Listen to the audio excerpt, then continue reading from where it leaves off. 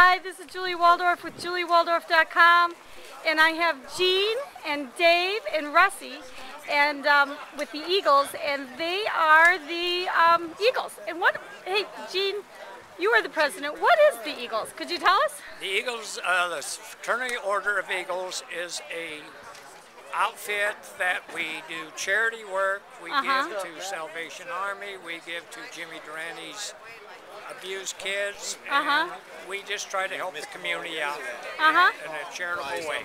So you fundraise and you have little get-togethers like this going on. Yes, this happens to be All our right. annual picnic, which is a for our members. Uh huh. And how many members do you have? Right now, we're at area members 140. The auxiliary is about 80 or 90. Okay, so you hang out, have fun, and give money away. Yes, we do. All right. Well, thank you very much. Do you have any contact information? Not really. A website? Uh, yes, but I don't know it. Do you know? Do you know, Dave? No, not right offhand. Uh, All right. Well, that's okay.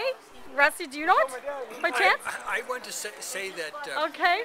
there's some really nice members here. They bring in some bread, and I get a loaf of bread about once a week, and I sure appreciate it. Okay. Well, cool, cool. All right. Thank you, Julie Waldorf. JulieWaldorf.com. Bye.